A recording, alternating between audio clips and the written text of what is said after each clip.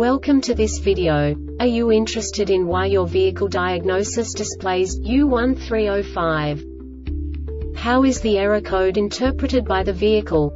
What does U1305 mean, or how to correct this fault?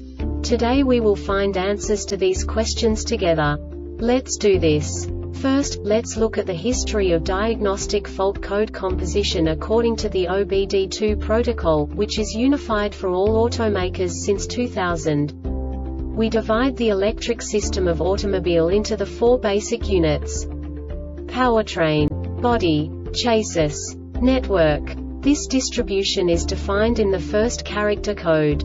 If the second character is expressed as zero, it is a standardized error. In the case of numbers 1, 2, 3 it is a more prestigious expression of the car-specific error. The third character specifies a subset of errors. The distribution shown is valid only for the standardized DTC code. Only the last two characters define the specific fault of the group. Let's not forget that such a division is valid only if the other character code is expressed by the number 0.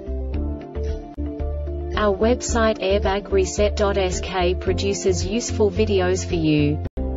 You do not have to go through the OBD2 protocol anymore to know how to troubleshoot any car breakdown. You will find all the diagnostic codes that can be diagnosed in a Oldsmobile vehicles. Also many other useful things. The following demonstration will help you look into the world of software for car control units. You unbelievably can move the video a bit further.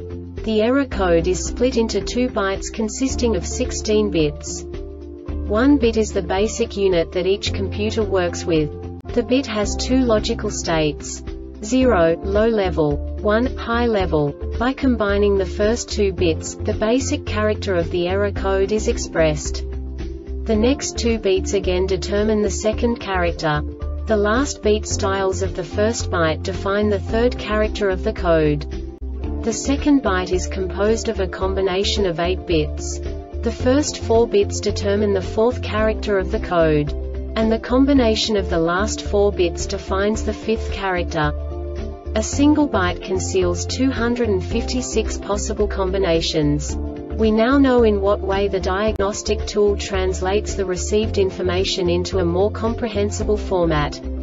The number itself does not make sense to us if we cannot assign information about it to what it actually expresses.